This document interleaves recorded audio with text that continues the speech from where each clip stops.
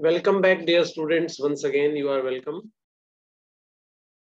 Today, we are going to learn the interrelationship between fundamental rights and directive principles of state policy. Dear students, individually, we have studied both the concepts. That is the chapter of fundamental rights, part third of Constitution of India. And then we have separately studied part fourth A,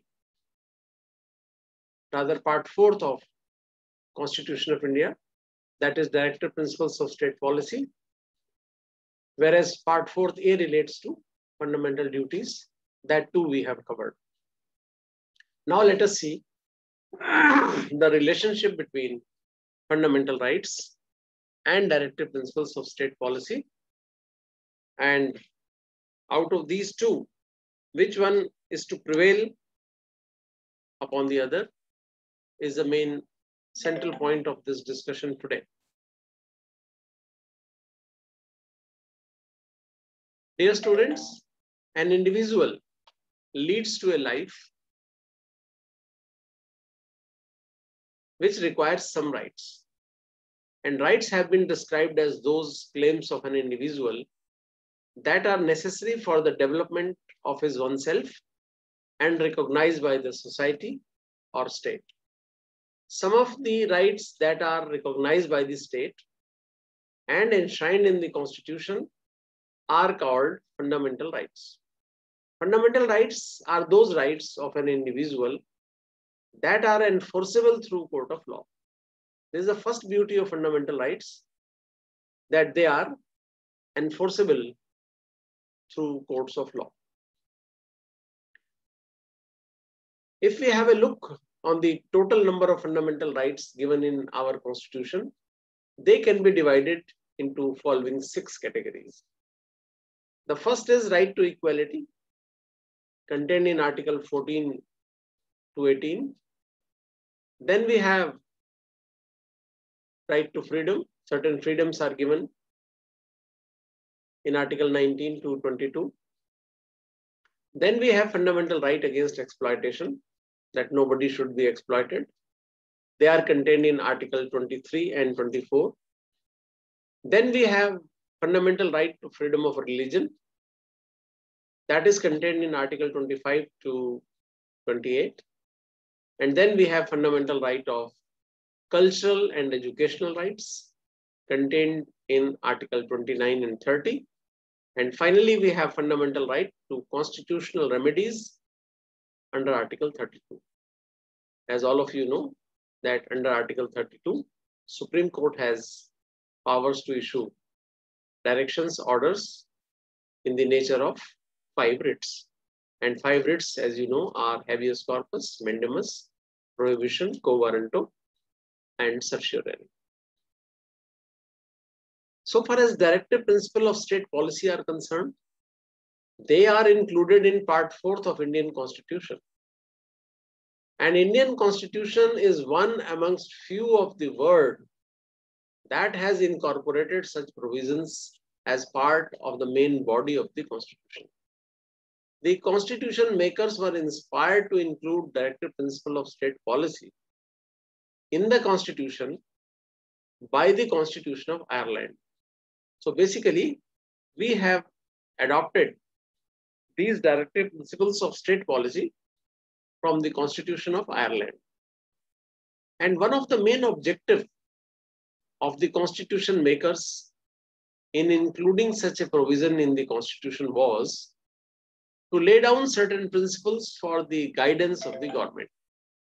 While formulating their policies, the governments are expected to accord to these principles. Dear students, the directive principles of state policy. They are the guidelines for the framing of laws by the government. These provisions set out in part fourth of the constitution, of course, they are not enforceable by courts. But the principles on which they are based are the fundamental guidelines for the governance that the state is expected to apply in framing and passing the laws. Now we'll see the relationship between part third and part fourth of the constitution, whether fundamental rights should be given preference and directive principles should be given a backseat driving or other way around, the directive principles should be given preference and fundamental rights should be suppressed. Or the third option is that part third and part fourth are equivalent to each other and they form a balance and harmony between them. So this is the main point of discussion in this remaining part of this lecture. You see the genesis and objectives. Underlying part third and part fourth have common desideratum in responding to the social consciousness rest with the constitution making force.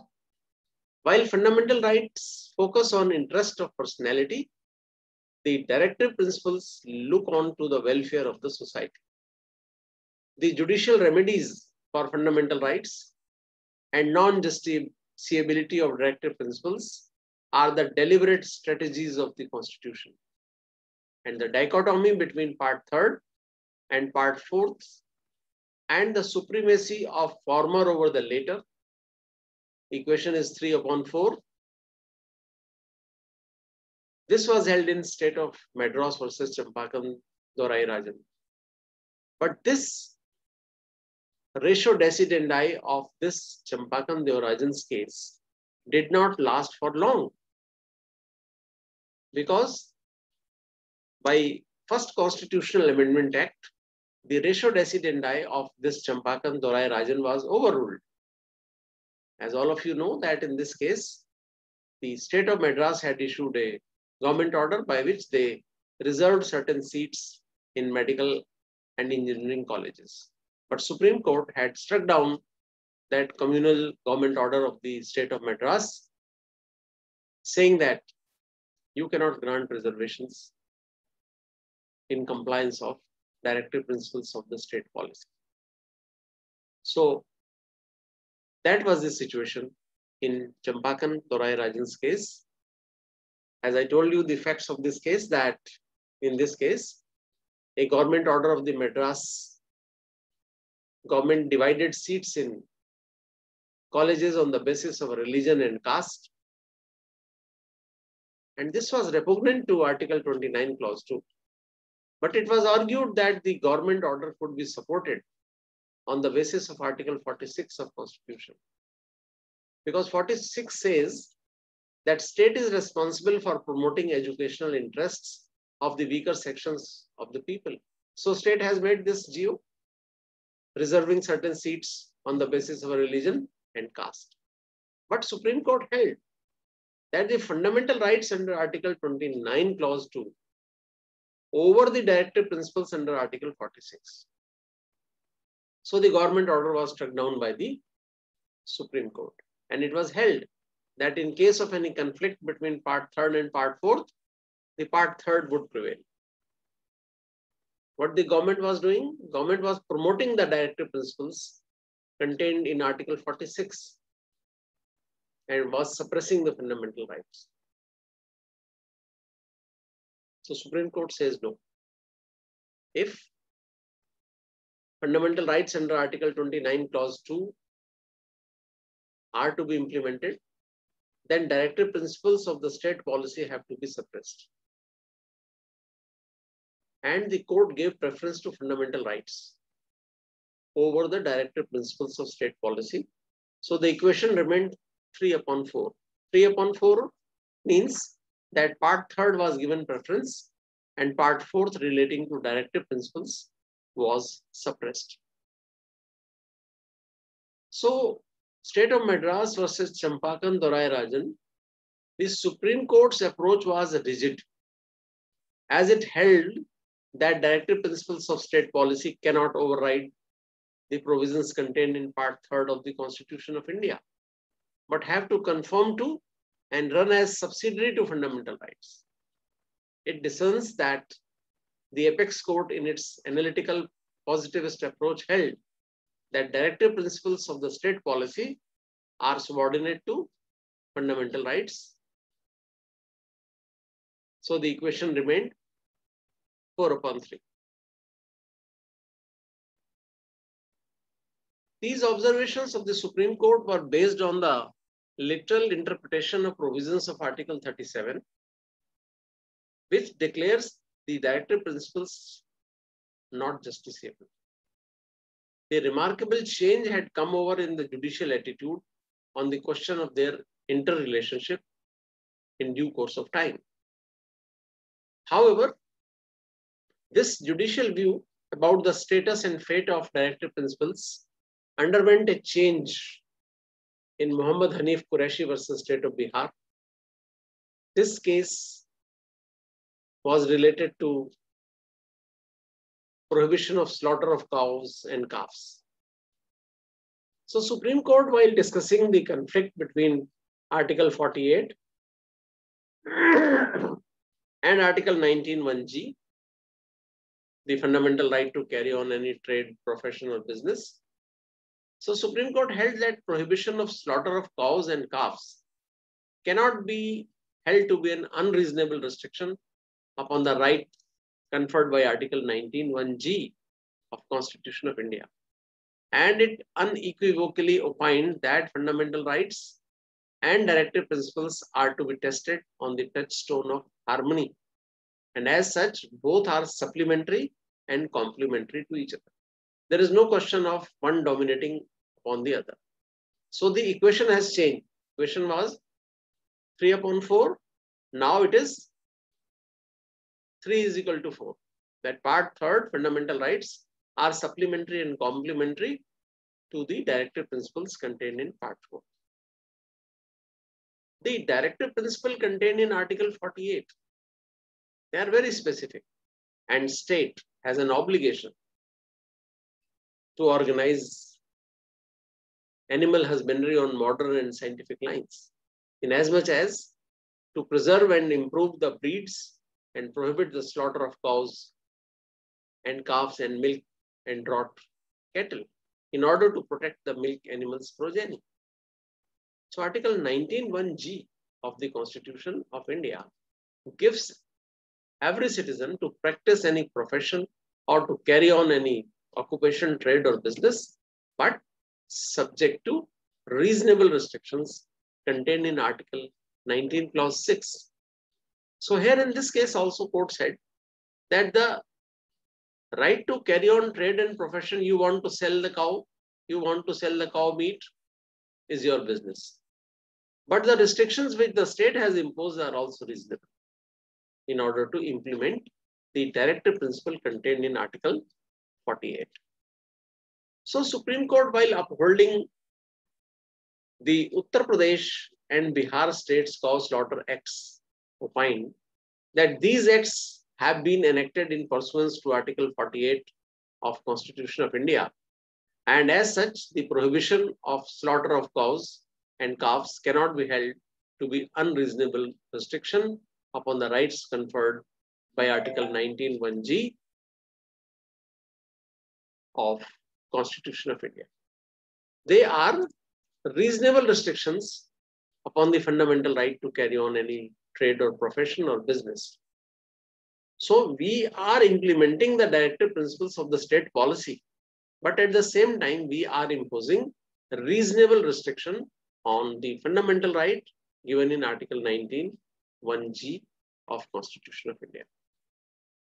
Then we have, dear students, another turning point, another important leading case in uh, regarding Kerala education bill. In this case, Supreme Court observed that though the directive principles cannot be cannot override the fundamental rights, nevertheless, in determining the scope and ambit of fundamental rights, the court could not entirely ignore the directive principles but should adopt the principles of harmonious construction and should attempt to give effect to both as much as possible. So here the theory of harmonious construction between part third and part fourth was given. So equation remained 3 is equal to 4. That is part third relating to fundamental rights will be given equal weight as compared to directive principles of state policy contained in part 4.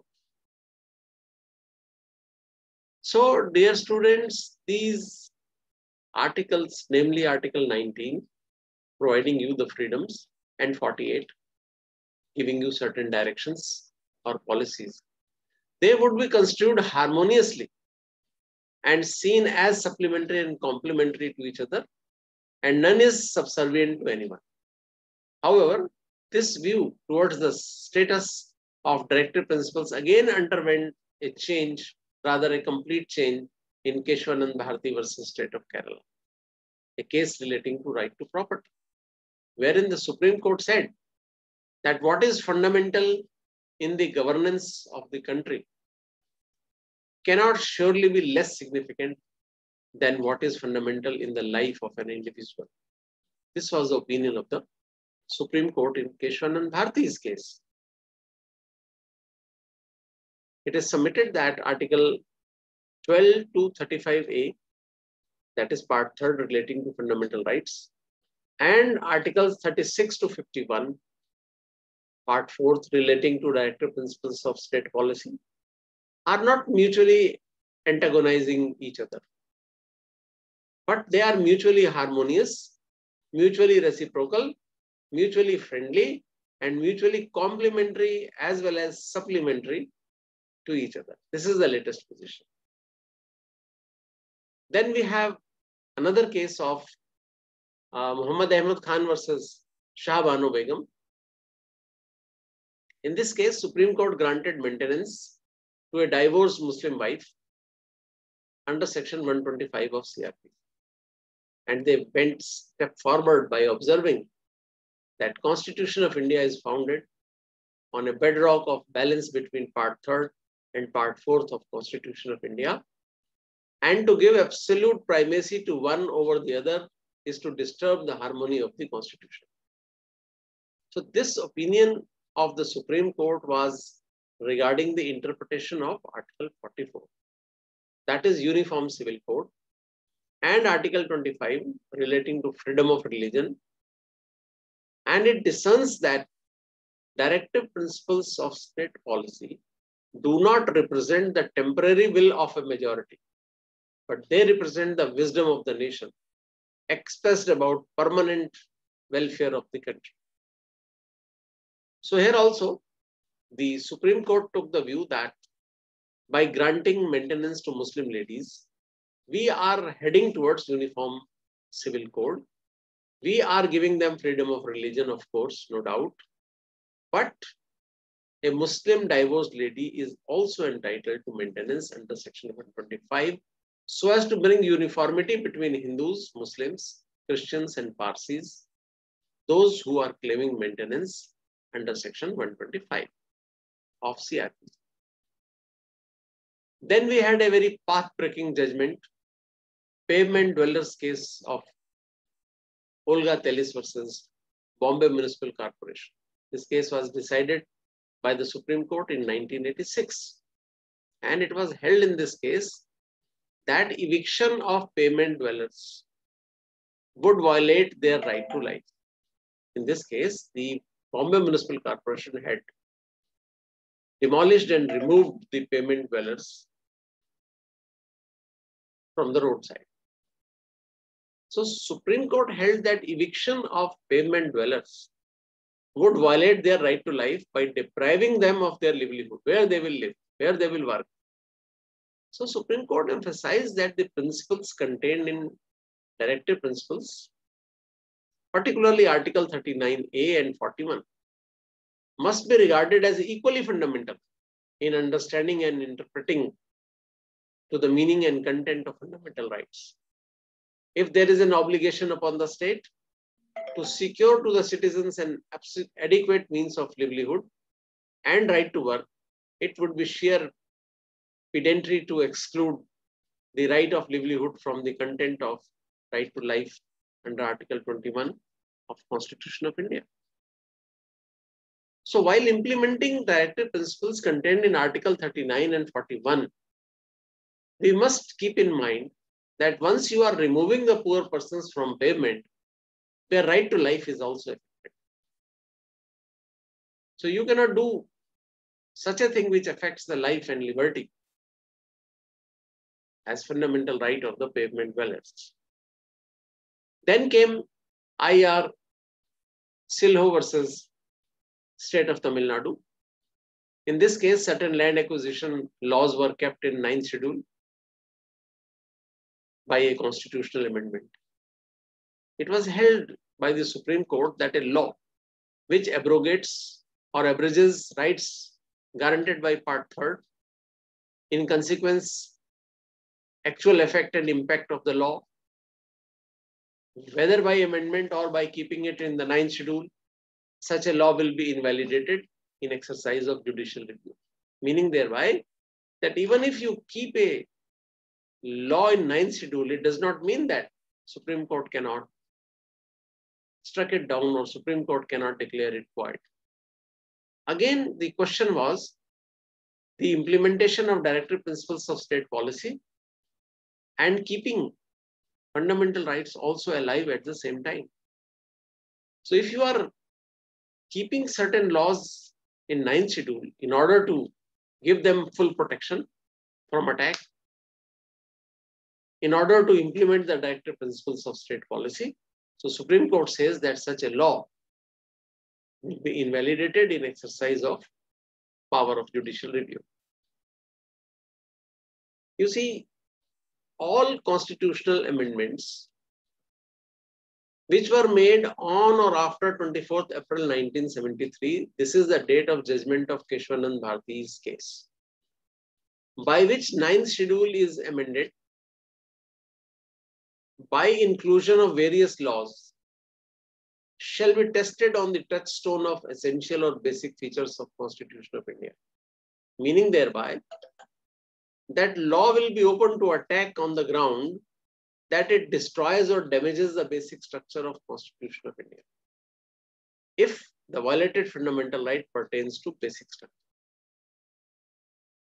This is the change in the legal position from the date of judgment of Keshwanand Bharti's case, that is 24th April 1973, that all constitutional amendments made on this day or after this date, which keeps any law in ninth schedule, that law shall be tested on the touchstone of basic feature of the Constitution of India. If that law violates the basic feature, it has to be struck down. Even if you are saying that we are implementing the directive principles of state policy but you cannot do so because you are somehow touching the basic feature of the Constitution of India, which is not allowed after 24th April 1973, the date of judgment of Keshwanand Bharti versus State of Kerala. So the Supreme Court emphasized that to destroy the guarantee given in Part 3rd, in order to purportedly achieve the goal of Part 4th, is plainly to subvert the constitution by destroying its basic structure. Fundamental rights occupy a unique place in the lives of civilized society and have been described as transcendental, inalienable, and primordial. So in view of, I'm talking about Keshwanand Bharti's case, that in view of Article 31C of Constitution of India, certain laws which were enacted for taking further mandate of directive principles as enshrined in Article 39B and C were protected even if they violated fundamental rights by the 42nd Constitutional Amendment Act 1976. The Article 31C was further amended to expand the scope which was earlier restricted only to Article 39B and C to include the entire directive principles. Meaning thereby, if you see the impact of this, similar is the case where an amendment was also sought to be made to Article 368 by insertion of Clause 4, which took away the power of judicial review. Clause 5 was also inserted in the said article, which provided that there shall be no limitation on the power of the parliament to amend the constitution. These two clauses 368 clause 4 and 5 came into consideration before the Supreme Court in Minerva Mill Limited versus Union of India, wherein the said amendments were held invalid by majority of 4 is to 1. However, while doing so, the said judgment also emphasized the importance of directive principles of state policy. Justice Y. V. Chandrachud, speaking for the majority held in this case, that part third and part fourth are like two wheels of a chariot. See the language. No one is less important than other. You snap one and the other will lose its efficacy. They are like a twin formula for achieving the social revolution, which is the ideal which the visionary founders of the constitution set before themselves. In other words, dear students, the Indian constitution is founded on the bedrock of balance between part third and part fourth. To give absolute primacy to one over the other is to disturb the harmony of the constitution. This harmony and balance between fundamental rights and directive principles is an essential feature of our constitution.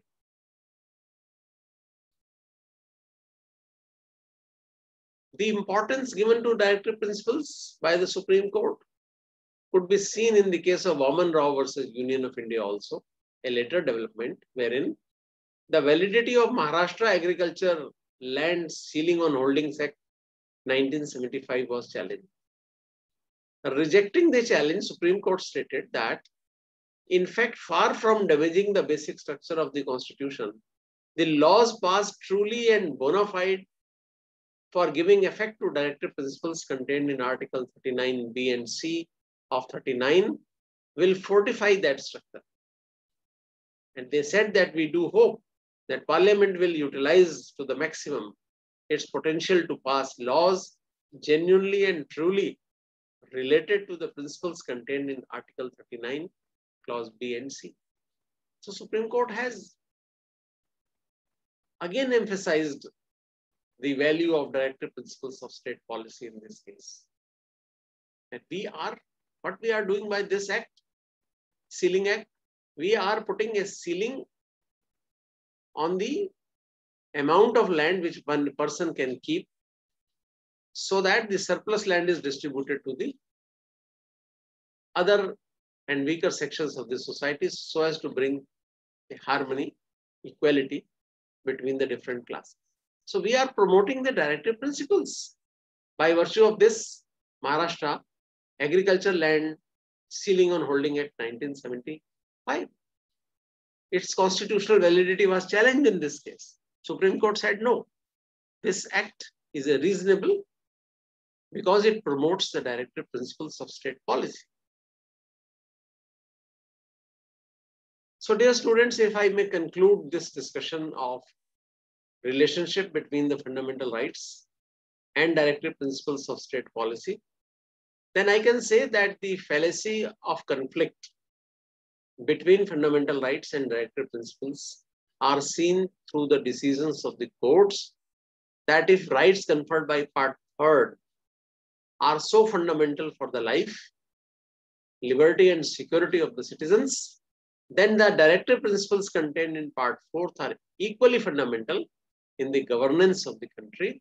And Article 37 makes it obligatory on the part of the state to apply these principles in making laws.